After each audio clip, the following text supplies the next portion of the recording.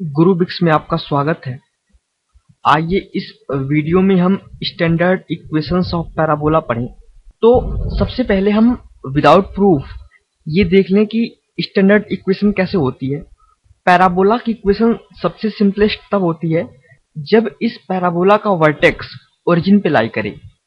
तो इन चारों केसेस में, जो चार केस हमने यहाँ पे लिए हैं, इन चारों केसेज में जो पैराबोला का वर्टेक्स है वो ओरिजिन पे लाई कर रहा है।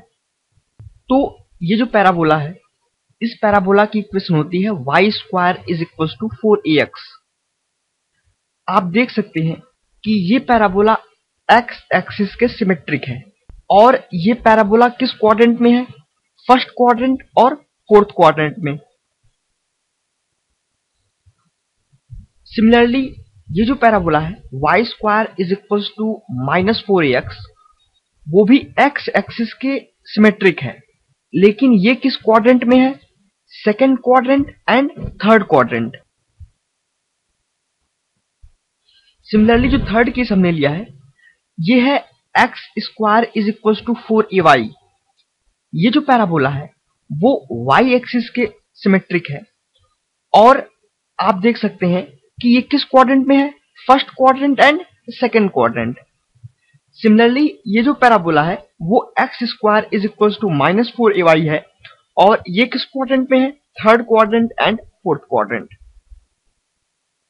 आप सिंपली ऐसे भी कह सकते हैं कि ये पॉजिटिव एक्स एक्सिस के सिमेट्रिक है, ये निगेटिव एक्स एक्सिस के सिमेट्रिक है, ये पॉजिटिव वाई एक्सिस के सिमेट्रिक है और ये निगेटिव वाई एक्सिस के सिमेट्रिक है। अब हम पहले केस के लिए केस वन के लिए इक्वेशन ऑफ़ पैराबोला डिराइव करेंगे। तो जब हमने पैराबोला की बेसिक डेफिनेशन पढ़ी थी, उसमें हमने क्या कहा था? कि पैराबोला उन सभी पॉइंट्स का सेट है जो कि किसी एक फिक्स्ड पॉइंट और एक फिक्स्ड लाइन से इक्वी डिस्टेंट है। हमने इस केस में कहा स्टैंडर्ड इक्वेशन ऑफ़ पैराबोला हमने कहा कि ये जो चारों केस हम डिस्कस कर रहे हैं, उन चारों केसेज में जो वर्टेक्स है, वो कहाँ पे है? ओरिजिन पे। ये जो फिक्स्ड पॉइंट है, वो होता है फोकस और मान लीजिए इसका जो कोऑर्डिनेट है, वो है ए कोमा ज़ीरो ये एक्स एक्सिस पे है।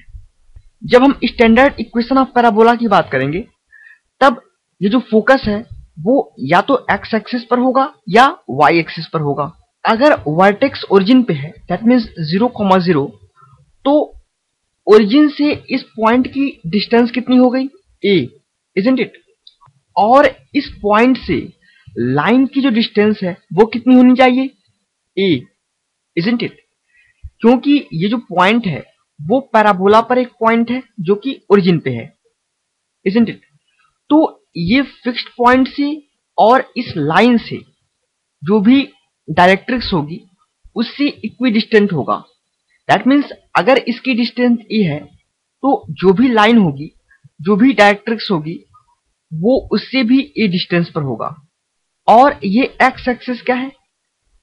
एक्सिस ऑफ़ पैराबोला क्योंकि ये वर्टेक्स से पास कर रहा है वर्टेक्स और फोकस से पास कर रहा है। तो जो एक्सिस होता है, वो डायरेक्ट्रिक्स के परपेंडिकुलर होता है। दैट मीन्स ये डायरेक्ट्रिक्स किसकी पैरल होगी? वाई एक्सिस के। और ये वाई एक्सिस से कितनी डिस्टेंस पे होगी? ए डिस्टेंस पे।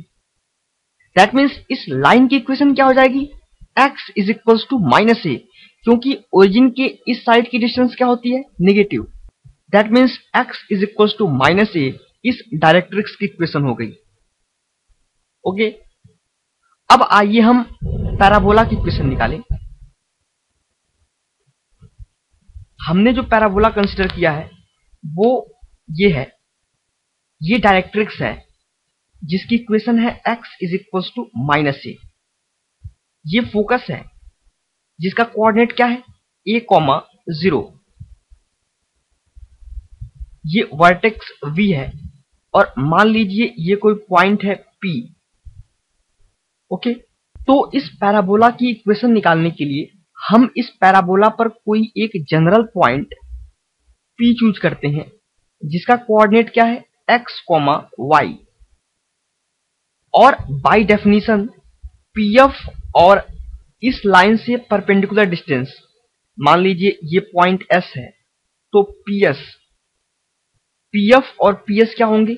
इक्वल होंगे by definition of parabola so mod of PF is equals to mod of P S point F के कोऑर्डिनेट्स क्या है? A comma zero point P के कोऑर्डिनेट्स क्या है? एक्स कोमा वाई तो हम डिस्टेंस पी एफ़ निकाल सकते हैं। पीएफ क्या हो जाएगा? Under root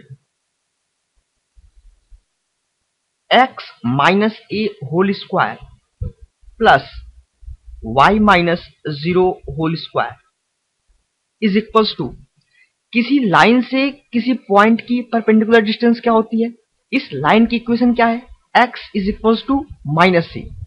That means x plus a is equals to zero तो इस लाइन से इस पॉइंट की परपेंडिकुलर डिस्टेंस क्या होगी? X plus A upon one isn't it इस लाइन से इस पॉइंट की डिस्टेंस ये होगी। और अगर हम दोनों साइड स्क्वायर करें स्क्वायरिंग बोथ साइड तो हमें क्या मिलेगा? X minus A whole square plus Y square is equals to x plus A whole square that is equals to x square plus A square minus 2ax plus y square is equals to x square plus a square plus 2ax तो ये x square और ये x square ये ए square और ये square cancel हो जाएँगे और Y square is equal to क्या होगा? फोर ए एक्स ये है इक्वेशन ऑफ़ पैराबोला जब वो एक्स एक्सिस के सिमेट्रिक है स्पेसिफिकली पॉजिटिव एक्स एक्सिस के सिमेट्रिक है। सिमिलरली आप Y square is equal to minus four A X ये भी इक्वेशन ड्राइव कर सकते हैं। सिमिलर प्रोसीजर तो ये जो चारों पैराबोला है, वो कहलाते हैं स्टैंडर्ड पैराबोला वो कहलाते हैं स्टैंडर्ड पैराबोला और इनकी इक्वेशन कहलाती है स्टैंडर्ड इक्वेशन तो standard equation of parabola are standard equation of parabola क्या क्या है? Two four X Y square is equal to minus four X X square is equal to four A Y और X square is equal to minus four A Y ये चारों equation standard equation कहलाती हैं।